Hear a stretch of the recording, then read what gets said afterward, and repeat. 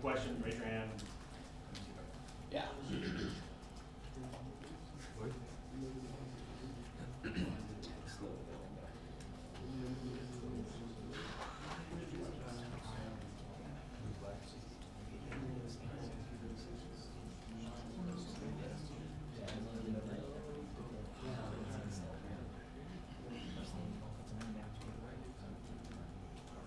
Against all forever sometimes. Are you, are you already installing the packages and everything? Yeah, so I, I made this with Create React App, uh, Facebook's nice little, um, quick bootstrapping for creating React App, and there are a lot of node packages that they include. If anyone's done any React, um, you, you might know that the tooling behind it and getting a project set up is the most arduous part. Until Facebook finally released the Create React Apps script, which Yeah, that was halfway. really, really nice. Can you install Node from the command line? You might be able to. You might be able to brew install it on Mac. I'm pretty sure you can. Yeah. Run it. Brew. What? Which, what channel do you post that in? I posted that in advanced database. Um, we should have Git. We already have Git. And then clone. Just do, just do like Git and and then that. This is it right here.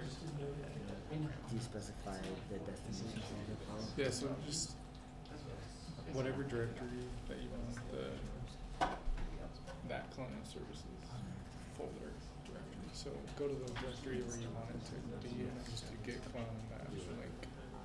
Um, I don't know. Uh,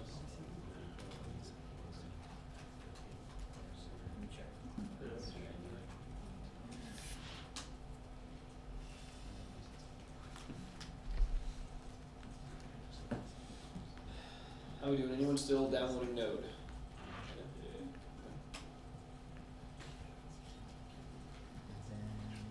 So while you guys are downloading that, there are a couple of things that I also wanted to talk about when it came to um, Firebase. So Firebase is, you know, they they their goal when they came out with the Firebase portion of Envolve, when uh, Andrew Lee and James Tamplin came out with that, um, their their goal was to be able to create a back-end service that would allow developers to spin up an entire application in the time that it took to ride a bus from Palo Alto to San Francisco. And I actually Google mapped it today just to double check. And it's about 45 minutes when you don't have any traffic, about an hour to an hour and a half at least when there is traffic, um, which you can count on pretty much always being traffic. Um, so just think about that. Like, we've all been through the junior core, right? We've all been through, uh, you know, you guys might have taken advanced web dev or Android or, or iOS or worked on any other development projects, but the idea of spinning up an entire backend, including authentication and authorization and a database, having that all done in an hour to then be able to just focus on coding on the front end and getting your creation up. I mean, that's, that's amazing to me. And so their, their hallmark feature is quick and easy. Um, so, that being the case, the Firebase team has published a couple of uh, really interesting repositories and libraries um, for, for API usage. Um, if you're looking at using Angular, if you guys are big Angular devs, there is a library for um, interacting with Firebase in Angular. It's called AngularFire. Um, and if I'm not mistaken, this is maintained by the Firebase team. I could be wrong on that. Um, and this is updated. It makes their normal JavaScript API, which is what we're going to be using in this class, even easier if you're doing Angular. Uh, the same thing with ReactFire. Um, you know, they've got React bindings to make this super simple for storing all of your Firebase stuff in your React state and being able to manipulate it quite easily. Um, personally, I'm not a big fan of ReactFire, specifically because you guys are going to be seeing in the project that you're downloading. Um, ES6 is amazing. Uh, ECMAScript 2015 or ES6 is kind of the next generation of JavaScript. And React Fire, is, since it's a mixin, it doesn't really play well with um, ES6 classes and things like that. So we're going to be using, and plus it's also really great just to understand their base JavaScript APIs. So that's what we're going to be doing in this class is using their JavaScript APIs. Um, anyone having any issues doing any other installs? Uh, Did you list the four things we need to install? Yes, again? yeah. So it's Node, npm. Uh, npm is installed with Node, Okay. so that gets t- that taken care of. Make sure you have Git, and then you're going to clone the, the repo, Yeah. and then just run npm install. Oh, okay. Thanks. Yep. Yeah. So when you run npm install, can you kind of like run through what it's doing? Yeah, absolutely. Great question. So this is the project here, um, and I'll make this bigger. I know that this has got to be a little bit bigger here. You guys see that? Is that okay? Good from here. Cool. So this is a package.json file. Um, for anyone that's not familiar with Node projects, a lot of your Node projects are managed through via a package.json file. Um, so when you install a Node package, uh, you can run over here. I've got on, on the right hand side my terminal here. Um, so if I say I want to npm install something down here at the bottom, let me actually make this bigger as well. Um, I can choose to install a, a node package. And when I install a node package, it stores it in a folder called node packages, which is actually in this, uh, just stored directly in whatever directory you're in. So right here, I've got my node modules folder in this, in my project directory. You're not gonna see that in, um, my editor on the side here because my editor automatically ignores anything that is in my git ignore file. And you look at the git ignore file, we're ignoring node modules. We don't want to upload a bunch of modules when all you can install it on your machine. So when you run npm install without any anything else here, like if I just say npm install, that immediately looks for a package.json file in whatever directory you're in, and it runs through these dependencies and dev dependencies, and it installs any uh, dependencies that you have saved there. So if I wanted to add a new package to my package.json file, I could say npm install some package dash dash save or dash dash save dash dev. And that would then add a line in my dependencies file right there for me. Which so then when that is downloaded by anyone else or cloned or anything or pulled down, you can just simply run npm install and you'll get all the right versions of all of your packages. It's very similar to Django or to any Python application where you have a pip requirements file and you say pip install dash r and then the name of the file and it'll install all your packages for you. So, any other questions on that? Nope. Cool. So, now that we got this open here, let's dive a little bit into the code. Uh, I'm assuming there are probably still a couple people working on getting it downloaded, but Is there anyone who wants to follow along who's not ready to proceed? So what are you still working on? Just, you're It's just okay doing with just downloading? And mine won't add path, so I can't do npm install. wait, j- sorry, npm install git. Um, just npm install, npm Oh. install won't Oh, work really? if it's not adding to my path.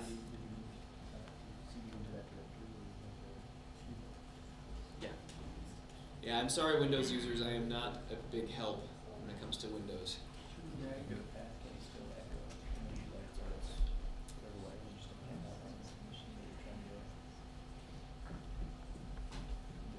How are you? I saw you raise your hand in the back there. Are you Just waiting for node.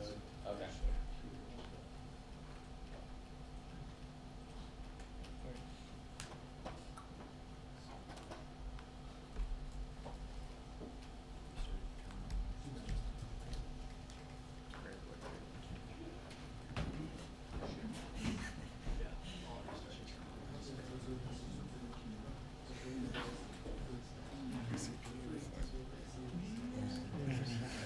It's chugging.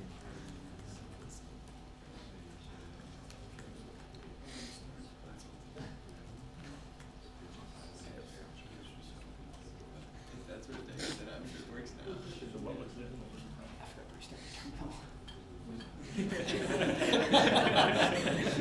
Nice. Can you take us through the process of cloning from GitHub, your third step there? Absolutely. So what you're gonna do is you'll pop over to um, you know this this repo here, and there should be something on here, clone or download right here, right? So you can do this via SSH or HTTPS. Regardless, you just copy this uh, this URL that you'll find in there, and then you pop over to your terminal, and you can cd to whatever directory you want.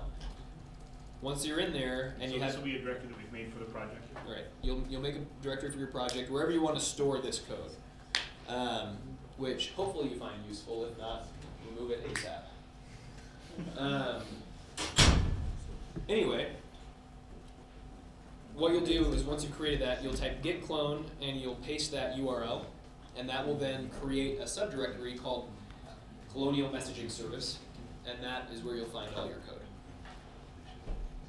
Change into that directory before you install. Yes, yeah, you got to cd into Colonial Messaging Directory and then run npm install.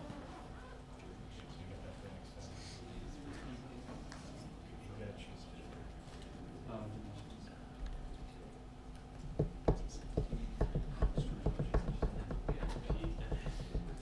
Yep. Node Package Manager.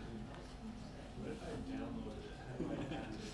How do I, like, add the remote? Oh, so like if you uh, just like download the zip file. Yeah. Um, Do that? so what you could do is uh, you should be able to just copy this same URL here and just say git remote add origin and then paste that URL if the remote's not already on there. My recommendation would be just to clone it through Git. You'll pull down all the branches, everything like that. And what I'm planning on doing with this, guys, in case you're, um, if you are interested in going back and you know reviewing it, is we have the master branch right here, which is what I've created before class, and then I'm on a new branch for anything we're doing in class today for class day one, and then I'll have another branch for class day two, so you guys can kind of go back and see the steps that we had to lay it all out. Cool. Cool. All right, we get to move on? How you guys feeling? Still need a little bit of time. No one's feeling. All right, perfect. Okay, so quick little rundown on Firebase. Um, so we're gonna talk real quick about the code that I've laid out for you guys, and then from there we're gonna hop back. We got a couple more slides to do, and then we'll get get typing. All right? You're recording now? Yes, I am. Um, make sure I am. Yes, I am. So, um, React. Uh, for those that are familiar with React, uh, you guys feel free to call me out if I'm wrong on this. Um, but React is an awesome framework that Facebook released. Um, that, for those that are familiar with Angular, it's just the views portion. You know, React was meant to be a view layer. It wasn't meant to be the entire frankly bloated framework that Angular has become, but rather just the view layer. And so for that, we need a couple of things. Um, in, in here, you'll notice we have a source directory and a public directory, and in our public directory, we have our HTML file. It's just single index.html file, which has got a couple of links in here. I've left a lot of this boilerplate in case you guys are interested in using it to check out your own uh, React projects or anything.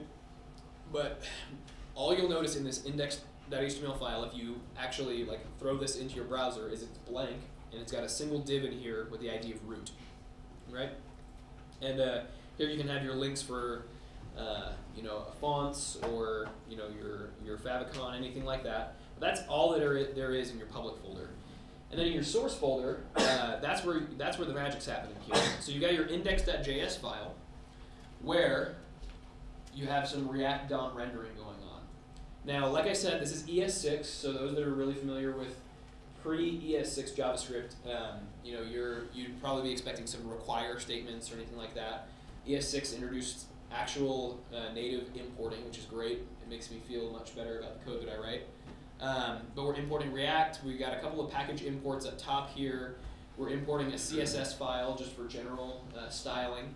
And then uh, you can ignore this. This is just based on the framework that I'm using for UI. We're using Material UI, so it'll have a nice little Google Material Design sheen. Um, but this is where it's all happening right here. Is you're rendering out to as the second second argument here, that div with the ID of root. You're rendering out this main page component, right? It's wrapped in another component, but yet again, that's just UI theming. Don't don't really care about that. But that main page component, we're importing it from our components folder.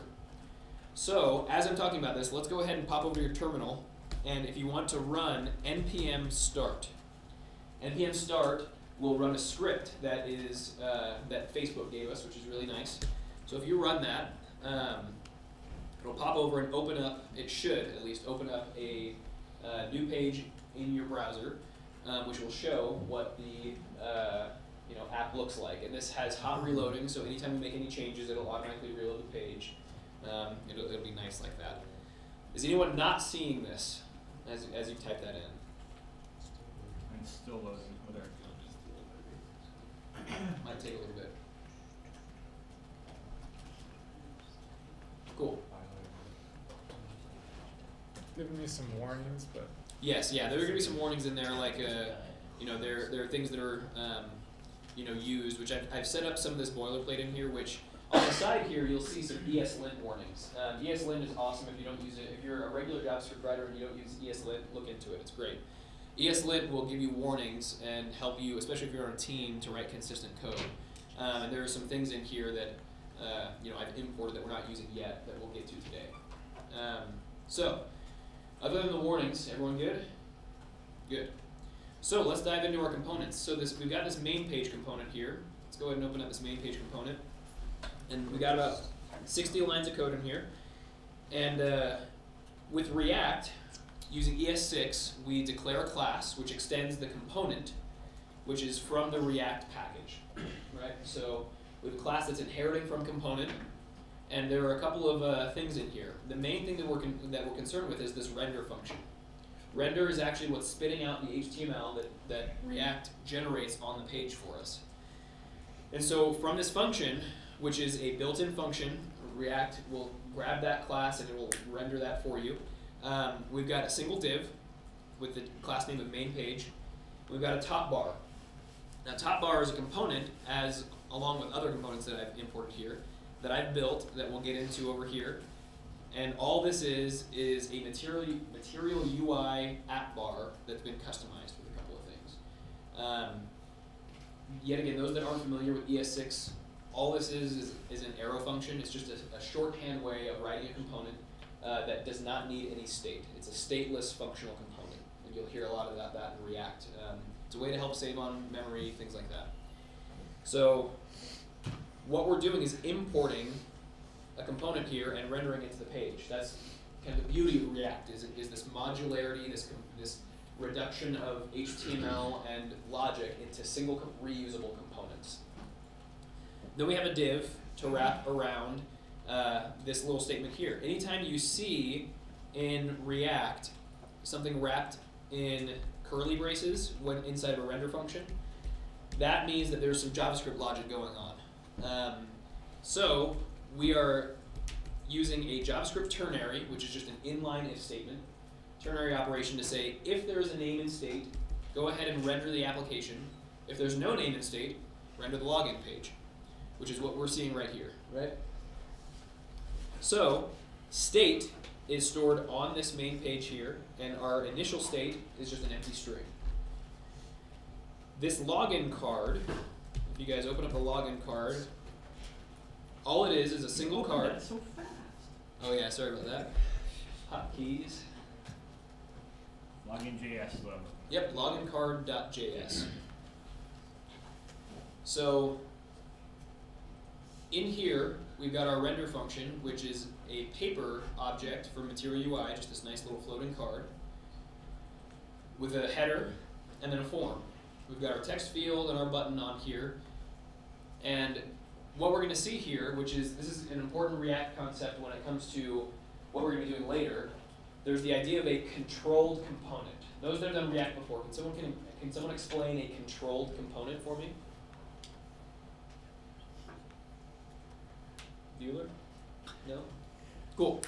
Con- all a controlled component means is that your component is tied to state.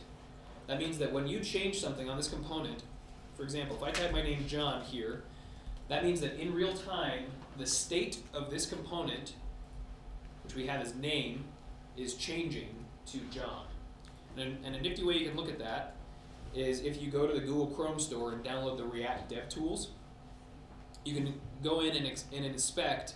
Instead of seeing what React spits out for you in raw HTML, you can see it in React Speak. So here's my login card component, and I have my state as John. Now, if I change this, go ahead and bring this over here. If I change John, you see that it's changing on the right hand side. If I change it to gov, it changes to gov. Yeah. Isn't that kinda like Angular's two-way data binding? Yes, very, very similar. That's right. So it's just data binding to your state. And if I reference my state somewhere else, it changes it immediately. And it's a very important concept because what that the idea behind React is that unlike jQuery or other JavaScript frameworks previous to Angular, they do not want you to change the DOM yourself. With jQuery, you go in and it provides you a lot of tools to change the DOM. With React, they don't want you to do that. They want you to change state, and React will change the DOM for you because it's super efficient at doing that. So state is what we're going to be working with here. Is is state kind of like a globally accessible thing, like kind of like a session or something like that? Great question. It's state is actually based on the component that you're in. So login right here, we have login state, but do you remember on the main page we had a, a name state as well, right? Notice that's that hasn't changed at all. And so the way that you do that is you pass state down via props. So if I type in my name as John here, which feel free to type your guys' name in. As the name changed, you're rendered a new page. This is like, you know, kind of mimicking a login page. Right? So now this has been changed to John. Alright? In our main page component here, uh, I'm glossing over, by the way, I'm glossing over a lot of the stuff as to how this is done. You can see your handle submit, handle text change, all of that. Mainly because I'm not here to teach React, I'm here to teach about Firebase, and I want to just kind of get this up and running. But if you do have a burning question about it, feel free to ask, because I love talking about React. Um, anyway, back to main page, notice our state has been changed. It used to be an empty string, and now it is not, and that is because login card went ahead and called a function that we passed down.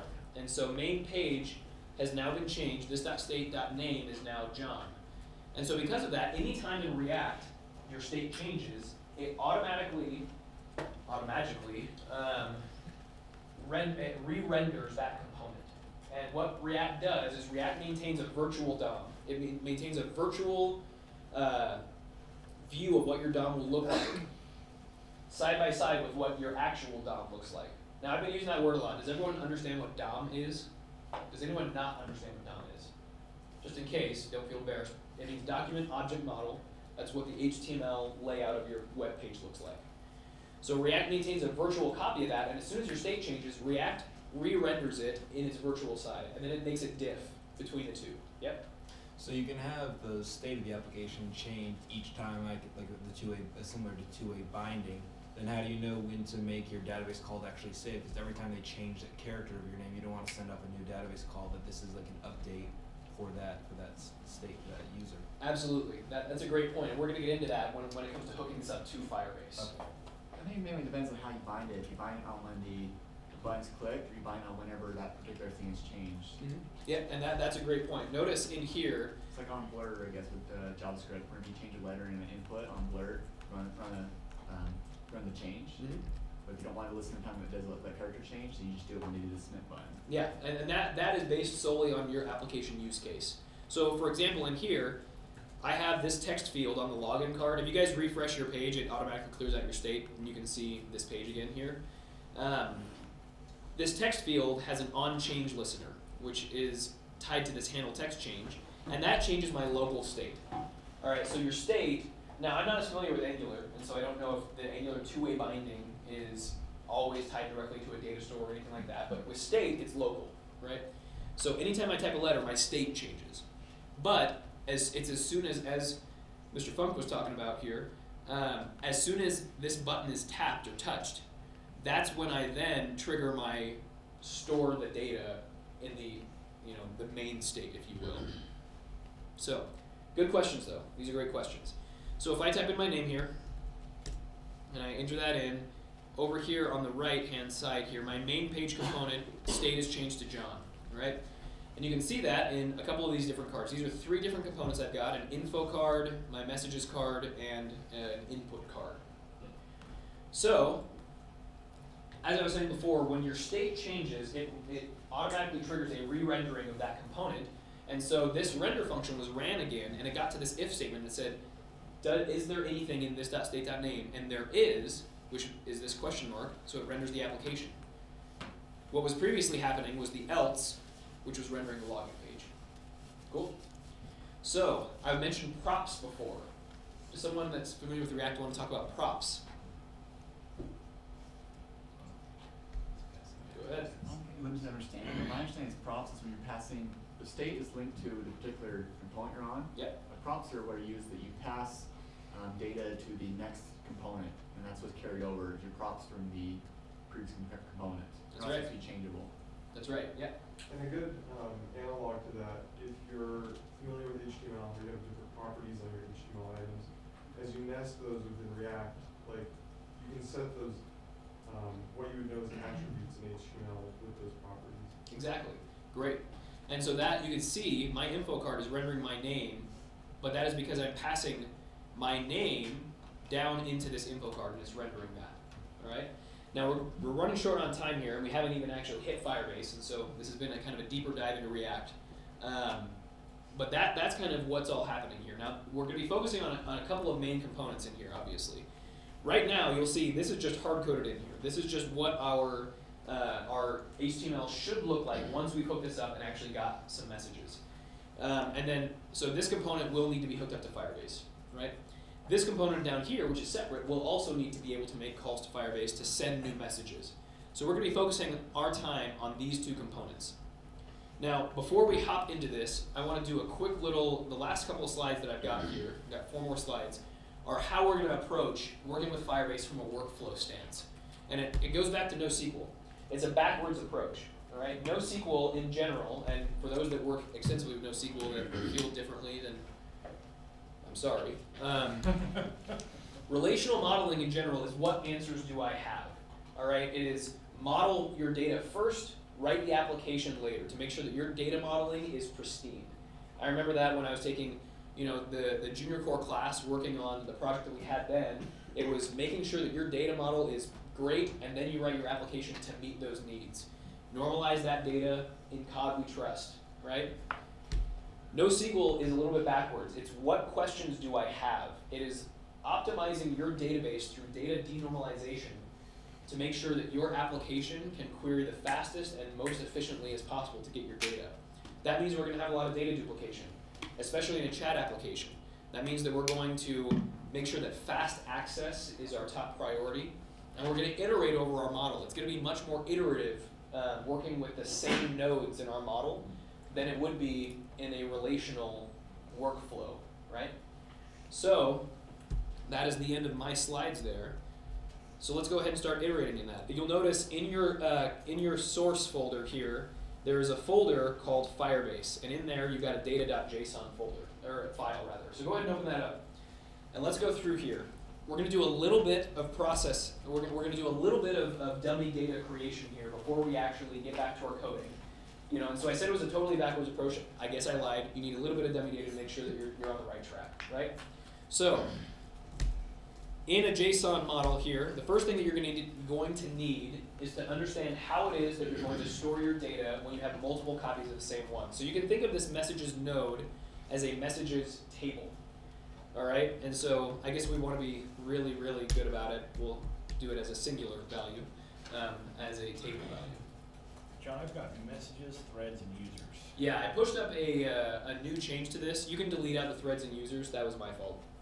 I uh, didn't end up. I think that on the class day one branch, I changed this. You can delete out threads and users. We won't be doing that today.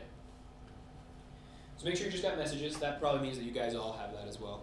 Um, and the way that we're going to structure this is very similarly to no dry erase. Awesome. We're going to have, since we're running low on time, I'll just kind of dictate it. We're going to have some kind of key. All right. Thinking of this as a, as a hash map. Um, yet again, fast access.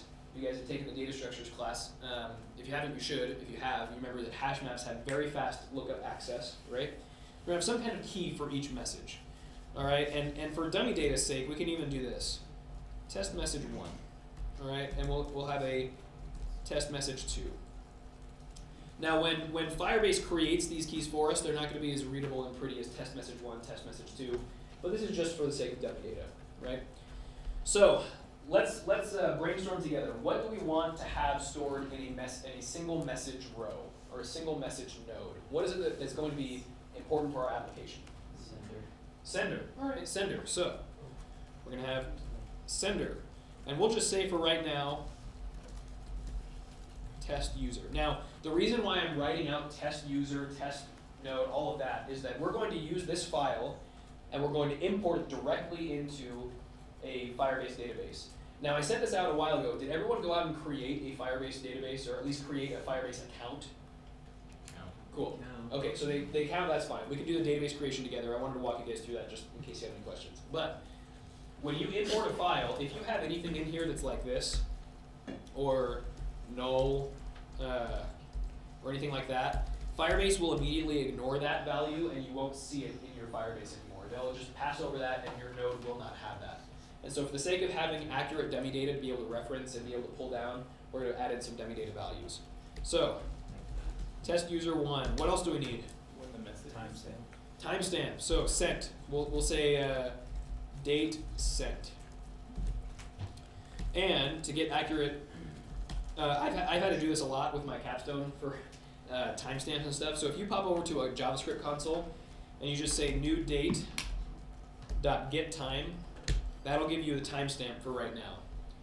And I found, and if anyone wants to argue with it, then we'll go to blows outside here. But I found that the best way to store timestamps in a JavaScript JavaScript based environment, so if you're using React or anything, is this timestamp, you know, integer value. Um, that's going to be provide you with the most flexibility and the easiest way to store it uh, in the long run. Yeah. Did you do that again? Yeah, so sorry, I kind of blew over that real quick. If you um, right click and inspect and open up your console, which you can do with the escape button, and then just type new date, so you're creating a new date object, and that date object has a method, get time. Get time will provide you with a, uh, a timestamp. Do you happen to know, is that just, is the default get time just local time, is it? It's your computer's time, whatever your Okay. computer's time is. If your set your computer's time zone is set to something wacky, it's whatever it's set to. Okay. I just like my, my call on that, like usually with relational databases, it stores like a date time format. With JSON databases, it's easier to store it as a millisecond because, because you can order it by the number and you can extract dates from that pretty easily. Exactly, and we're going to be using a, a library that's very common in, in JavaScript development called Moment.js to do some easy displaying of those date values. So I'm not quite getting the dates either. And actually, just as a reference, yeah, uh, you can click on console up top as well and get a full screen console. So if you click on console up, up here, then you should be able to get that as well. This is obviously assuming that you have Chrome installed. It's different on Firefox, different on Safari, different on Edge, um, but you should have access to that. So, what else will we need on this guy? Oh, also, um, if you go to the, if you open up the message uh, box.js component, if you want to reference that again, for this, uh, let's see here. Oh, okay, yeah, never mind. I thought that I uh, changed that. Anyway, I'm gonna change this since um, if you noticed in, in the message box, I've already written a little bit of logic. We're gonna say uh, sent time. So let's change this to sent time. Just to keep accurate with that. What else do we need in our message? Message. Message, that's right. So.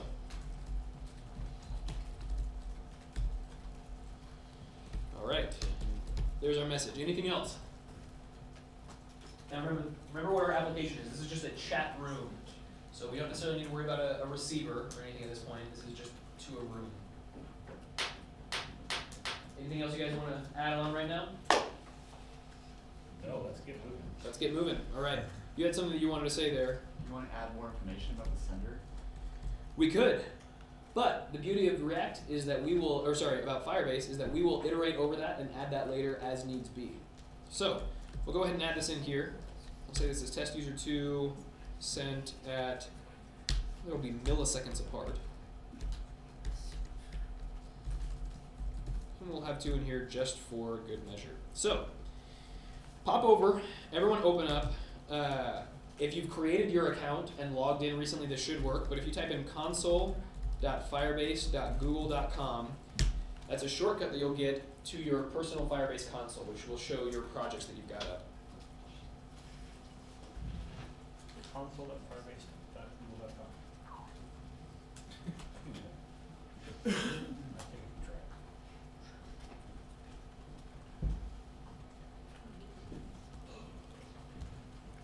try. All right, and you should be able to create a new project. So, I've already created one, but I'll go through the process of creating one with you. It's very simple. It's literally just this modal. That's it. So you'll click create a new project, and you'll give it a name, whatever name you want. I named mine Colonial Messaging Service. So once that's created, it should forward you to a page very similar to this.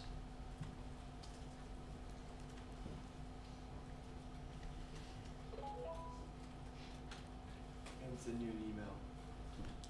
Yes. Anyone have any issues? We good?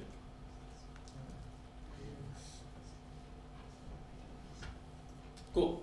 We'll move on. So, what we need to do here first is we'll pop over to the, to the database tab. Uh, left-hand navigation here, go to database.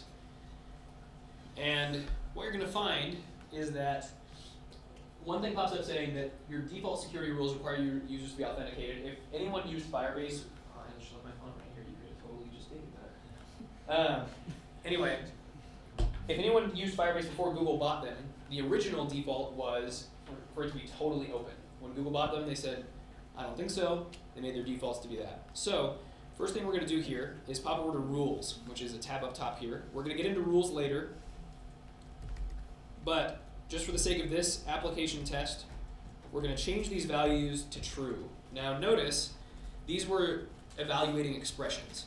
Auth is not equal to null. Can you guys see that? I need to zoom in? You guys good? Okay. We're gonna- just going to say true for read and true for write, which means technically if someone were to get a hold of our Firebase credentials here and, uh, and be able to, to send this, um, they would go ahead and say, they would be able to add whatever they wanted to anything they wanted in our Firebase store, whatever data they wanted there, or mess up with it, which is not good, which is why we're going to talk about that later. But for for purposes of using this, uh, for purposes of, of this application demo, we're going to do that because you guys are going to help develop out your auth system later. So I click publish, anything else I need to do to get those Nope. statements, right? And that is it. You just click publish, and then that is it. And go back to data. and head back to data. So we'll go ahead and click this triple uh, dot icon here, the more icon, and we'll import a JSON file. You're going to browse to wherever it is that you have that file, which just find where it was that you you cloned that repo, and it should be under your source Firebase folder.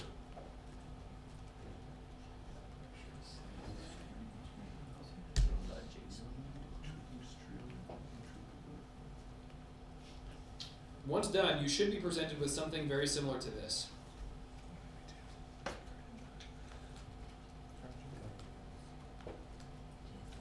Anyone have any issues here? Any problems, any snags? Can we still do that again? Yeah, absolutely. So you're gonna go here to data, click on import JSON. You're gonna click on this browse button right here. And then just navigate to wherever that data.json file is, and you'll import that. You should see this change and move from there.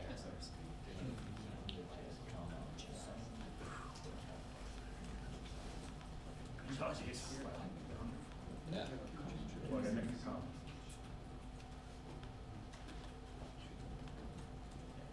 Now, I was expecting this section of the class, this, this class time to run a little over, uh, meaning that we'll talk, we'll finish up this portion next class period because Firebase security rules, it doesn't really take a huge amount of time.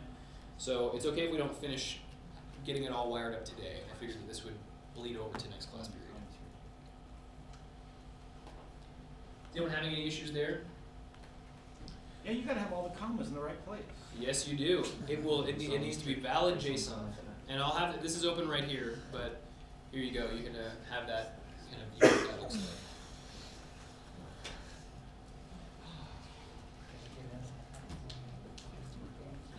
For those that have finished importing your JSON, congratulations, you're now Firebase experts. You guys can leave. Take my resume. Yeah. JPA, I still have things to talk about, so don't leave.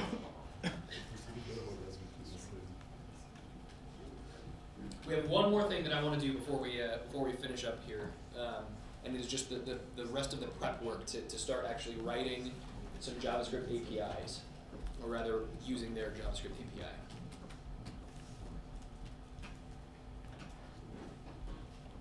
Okay, anyone still working on that? Cool. So, um, what you're going to need to do is open your index.js file and notice that I have imported Firebase because I, as, an, as a node package, we've already installed the Firebase package. And I've got some code commented out here under initialize Firebase. Alright, index dot, index that's render source. Yep, that's right under source. It should be not nested inside any folder except for source. And here, go ahead and uncomment those lines where you've got your config const and your initialize application call. All right. Anyone not see that? Not looking good? Uh, where's this file? It's index.js under the source file. You'll you'll find it. I'll close some of these so you don't see this. Source index.js right there. Oh, uncomment. Yes, uncomment that right there. And swing back over to your Firebase console and click on Overview. Top left here, right under the Firebase logo. And you're going to click on this button that says Add Firebase to your web app. And you're presented here, and for anyone watching this video or anyone in this class, I'm assuming you can just hack my Firebase now. Um, here is your application specific information. I want you to copy that. Excuse me. Copy that and paste it in right here. We're using const instead of var. I am using const instead of var. ES6, baby. Sorry, can you show me how to get to that info? Yes, absolutely. So you go back to your overview page here, click on that, and then click on this far right little button, add Firebase to your web app. Thank you. And here you'll have this. Now, there's a lot of stuff in here that says like, okay, you'll, you're you're gonna. Th- this is assuming that you're just going to, you know, paste in a CDN for the Firebase library, and then you have a script right here. But we don't need that because we've installed it via Node, and it is bundled with our React application. So we don't need to do any of that script, any there. We just need literally just the innards of this object, this config object. Make sense? So we should be able to save this. And at this point, yet again, as I mentioned, every time you save, it triggers an automatic refresh of your page anytime you change any code in there, and that's because when we ran npm start, it has run a file watcher. Go here and then here. Just confirming the index.js initialize Firebase. Is that should that should still be commented out? Yes, yeah. Initialize Firebase, that's just a comment. This is Okay. where you initialize Firebase. Do they have a semicolon in their example? They do. Um, semicolons are optional in JavaScript. There are four instances in which you are supposed to use them. And if you're comfortable enough to know exactly where those are, then you're allowed to not use semicolons everywhere, which is nice. So, I, you'll notice I don't have semicolons in mine. Feel free to add semicolons if you want. They're optional. Don't tell that to Dr. Little. Yeah, yeah. Yes. I took his advanced web dev class and I remember. um, any other issues here? So when you save that file, you should be able to go back to your localhost 3000 and it should refresh, and you shouldn't have any errors in your console here. It's a miracle. That's right. So you got you got a warning, which is totally fine, but you're now hooked up here. We got one minute left. All right. So we're gonna do something real real quick. Go over to messages box. All right.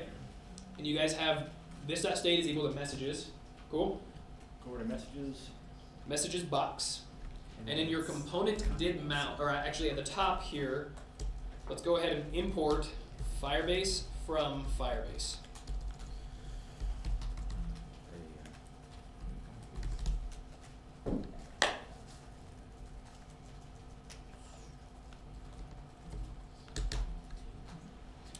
Under in your constructor, under this dot state, you're gonna say this dot ref is equal to Firebase dot database dot ref dot child message or whatever it was that you named in your database this minus message.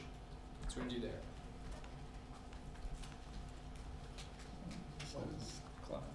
Just a stretch. I hear you.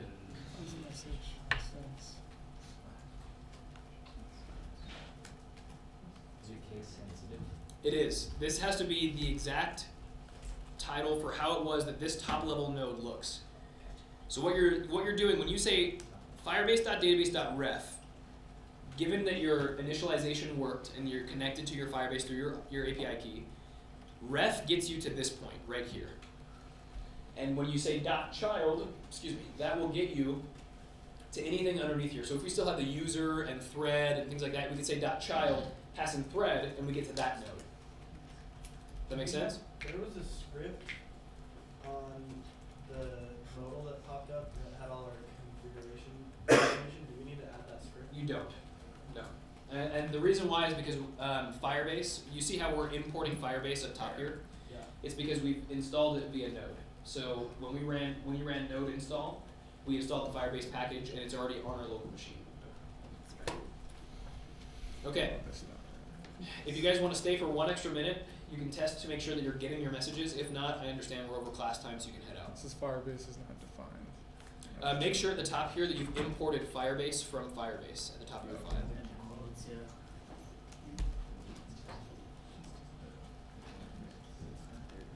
And what you're going to do is say this dot ref in the component did mount. Component did mount is a built-in component lifecycle method for React. It's as soon as everything is kind of rendered, it's, it's generally the place that you should make any network calls. This dot ref dot on value, and then you're gonna do this fun little arrow function syntax. arrow function is an ES6 way of doing an anonymous function. It's just like it's just as if you were to say function here. The only difference, which is a big difference, is that arrow functions do not implicitly bind the this keyword. And so arrow functions are a need for working correctly with Firebase.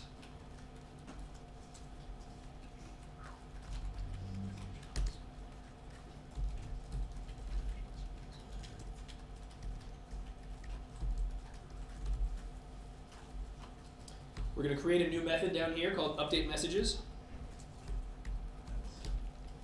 And because React is React, you're going to need to add this line in your constructor when you add a new method.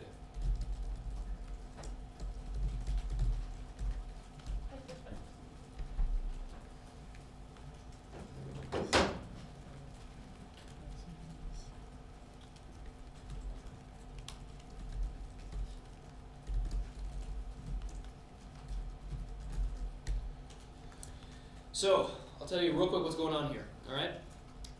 This.ref.on is the way that you set a Firebase listener. Alright, you set a listener to this, uh, to whatever node you've, at, you've accessed via this.ref, alright? Sorry, we're running a little late. Um, In fact, John, we better, we probably better cut it off, there's another class coming in. oh, okay, alright. So, when we get back here, I'll explain what's going on here next time we meet.